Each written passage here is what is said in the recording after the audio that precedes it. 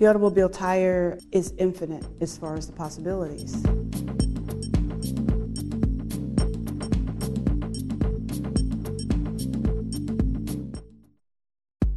The big thought is to figure out what you're going to do by visiting the city and taking a look around. Uh, you get ideas about you know what the people are like because you get a chance to see everyone in their general day-to-day motion. Uh, you go back home, you look at your internet to find more research about the city and the activities that have happened many years before and things that are happening now and what their future goals are about. And you sit and think. Uh, from there, um, you draw up drawings and maquettes that give an idea of structurally the possibilities of what work could look like. And then from there, my large task was to find material that didn't have the metal inside, which was not the easiest.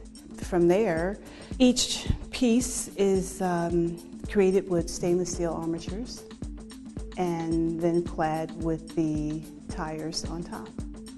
You have different issues you have to deal with. You have to be concerned about the environment, um, the different winds and the changes of weather uh, that an engineer would assist and getting an understanding through the type of software programs that they have to be able to get an understanding of how structurally sound work has to become in order to be put outdoors. Some things, when you think in terms of an engineer, that might seem um, sturdy, it's sometimes the simpler areas to a piece where people may have more access to that will then tend to have more sort of a problem that they may have to reinforce compared to something that has like a very large arc that's more um, sort of built more like a building, like your archway here, something that has more support that then you can walk in and out of.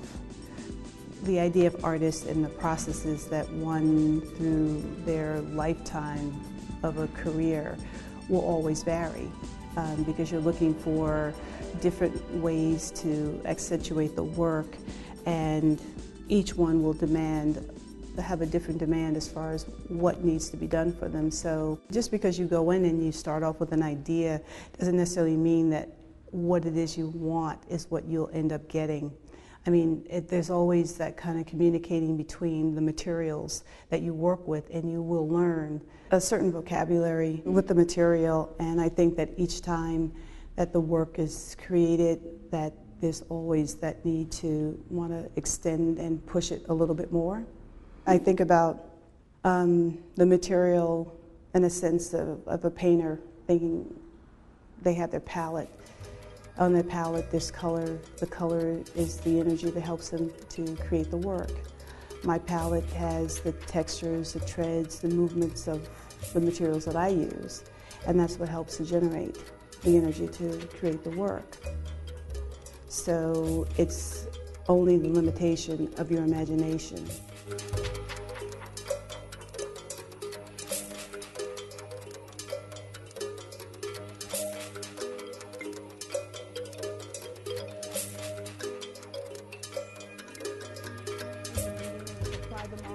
As the sky changes. Do you uh, use, uh, of course, they're old tires. That is true. Uh, do you use white walls too? I use them all. Oh, okay.